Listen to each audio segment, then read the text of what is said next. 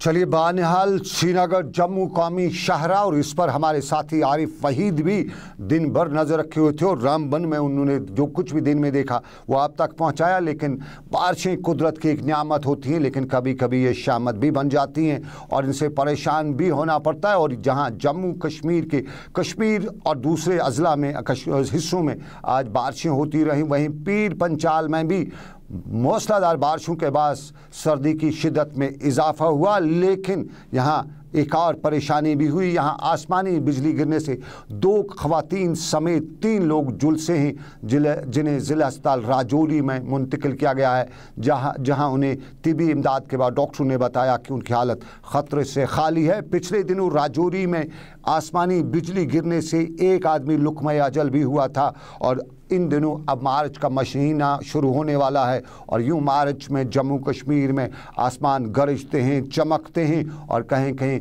आसमान से बिजलियाँ ज़मीन पर भी गिरती हैं और कभी कभी नुकसान भी करती हैं। लेकिन हम नुकसान की बात करें तो रियासत को नुकसान पहुँचाए जाने की हमें ख़बर पहुँची है और ये ख़बर आप तक हम ज़रूर पहुंचाना चाहेंगे। हम बताना चाहेंगे कि तामीराती, तरक्याती फलाई स्कीमों का दबदबा है यहाँ पर दबदबा है और इस दबदबे पर हम बात नहीं करें, लेकिन हमारे पास ये खबरें भी हैं कि इस दबदबे को बर वक़्त मुकम्मल न करने की वजह से हमारी रियासत पर इजाफी बोझ डाला जा रहा है। और हमें ये भी मालूम हुआ है कि इस वक्त जम्मू कश्मीर में 670 ऐसे प्रोजेक्ट हैं जिन्हें वक्त पर मुकम्मल न किए जाने से रियासती ख़जाने को इजाफन उन्नीस हज़ार करोड़ रुपये का नुकसान पहुँचाया गया है। एक ऐसा अपडेट है, उन्नीस हज़ार करोड़ रुपये का हमारी रियासत को नुकसान पहुँचाया गया है और जो हमारे पास रिकॉर्ड अवेलेबल है, उनमें ये बात साफ़ है कि कश्मीर, जम्मू और लद्दाख में मुख्त प्रोजेक्टों को वक्त पर मुकम्मल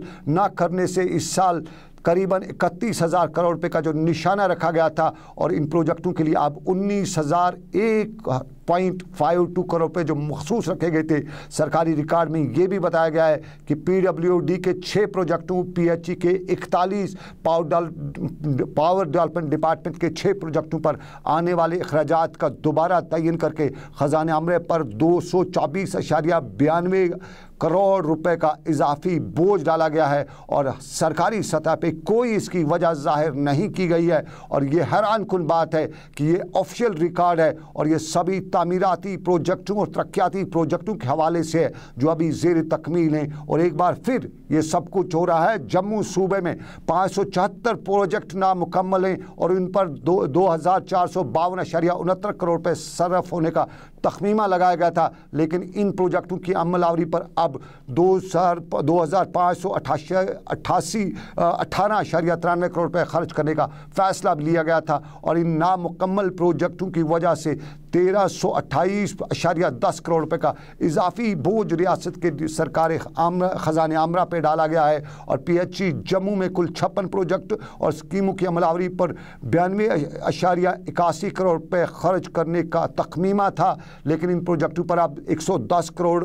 छत्तीस लाख रुपए की रकम खर्च हो जाएगी और इस तरह उनहत्तर अशारिया तिरसठ लाख रुपए का इजाफी खर्च होगा। सरकारी रिकॉर्ड हम आपको बता रहे हैं, जिसमें यह बताया गया कि कश्मीर वादी में इरिगेशन, फ्लड कंट्रोल, पीडब्ल्यूडी और दूसरे महकमों में बेला, बेहिसाब जो इजाफी बोझ अब डाला जा रहा है, इसकी सबसे बड़ी वजह यही है कि इन डिपार्टमेंटों में वक्त पर मुकम्मल काम नहीं हो सका है। कश्मीर वादी के हवाले से सरकारी अहदेदारान ये बताते हैं कि हालात कुछ ऐसे थे कि प्रोजेक्ट मुकम्मल नहीं हो सके, लेकिन जम्मू में क्या था? ये पीडब्ल्यूडी जम्मू से ज़रूर पूछा जा सकता है आरएनबी से पूछा जा सकता है। और श्रीनगर जम्मू बानिहाल जो नेशनल हाईवे है, उसका मामला भी सतसठ सतसठ अशारिया सात किलोमीटर शारा जो है, वो अभी तक नामुकम्मल है, उस पर काम कहीं चल, नहीं चल रहा है। और उसकी वजह ये भी बताई जाती है कि वहाँ ज़मीन नहीं दी जा रही है। और इस ज़मीन की वजह से 2010 में आपको बताते चले, इस शाहरा पे काम शुरू हुआ था। एक निजी कंपनी को काम दिया गया था, लेकिन 2010 से अब तक ये ज़मीन हासिल नहीं की जा सकी है। और एक बार फिर श्रीनगर, जम्मू, कौमी शाहरा पर, जिस पर आज तो काम कुछ जगहों पे लगा है, चल रहा है, लेकिन सतसठ किलोमीटर ऐसी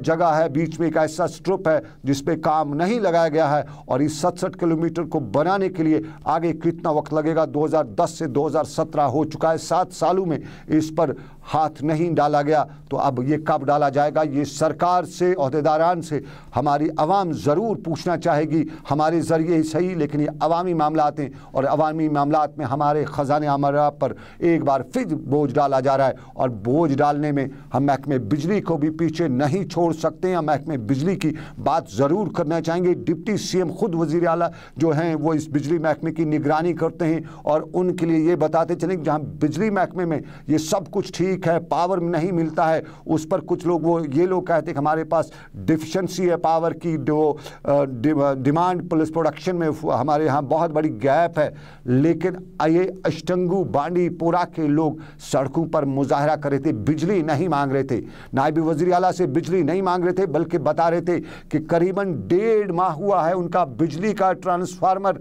ठीक करने महकमे बिजली लिया है, लेकिन डेढ़ माह के बाद भी बिजली का ट्रांसफार्मर ठीक नहीं हो सका है और इसकी वजह से आज उनके ट्रांसफार्मर की वजह से और लोगों को मुश्किल का सामना करना पड़ा। ट्रैफ़िक जाम रहा, रोड जाम किया गया और ये बांडीपोरा के इस्टिंगू के लोगों का आज का ये हाल था और सरकार के दावों पर सवाल यहाँ ये उठाया जा रहा था कि ट्रांसफार्मर एक मोहल्ले का एक छोटा सा ट्रांसफार्मर जिसको डेढ़ महीने में ठीक नहीं किया जा सके, उसके बाद तामीर तरक्की के दावे और वादे करना शायद सही बात हो या ना हो, सरकार बात करेगी। लेकिन त्राल के मैं भी बिजली महकमे के खिलाफ इल्ज़ाम और गुज्जर बस्ती कम कारमुल्ला गुज्जर बस्ती के लोगों ने आज महकमे बिजली के खिलाफ इल्ज़ाम आयद करते हुए बताया कि तरसीली निज़ाम अबतर तो है ही, उस पर ट्रांसफार्मर नहीं और ट्रांसफार्मर न होने की वजह से उनके इलाके में बिजली का हाल जो है वो बेहाल हुआ है और त्राल में बिजली का हाल बेहाल गुज्जर बस्ती त्राल की और वहाँ लोग परेशान बिजली के लिए।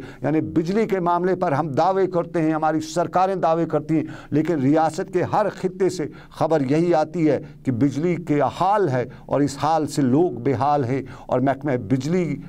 दावे करता है, ज़मीनी हकाइक बदला नहीं सका है, सत्तर साल बाद भी।